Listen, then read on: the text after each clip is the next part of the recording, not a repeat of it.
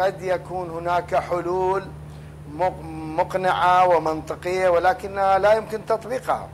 مثلا كما جرى باتفاقية العراقية الصينية النفط مقابل الإعمار.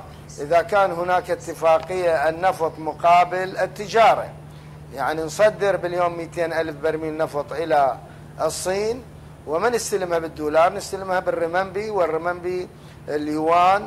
يسلم للتاجر العراقي اللي يسلم دينار إلى البنك المركزي إلى المصارف الأهلية ويستلم في الصين الرمنبي بالسعر الرسمي وتوصل الاستيرادات بشكل أصولي ولكن هذه الخطوة اللي هي تعتبر من حق العراق إن له ولاية على أمواله ولازم يتصرف فيها بحريته ولكن هذه الخطوة ممنوعة من قبل الجانب الأمريكي الذي يفرض هيمنته طيب. بأن يتم التعامل في العالم أجمع ببيع وشراء النفط فقط بالدولار.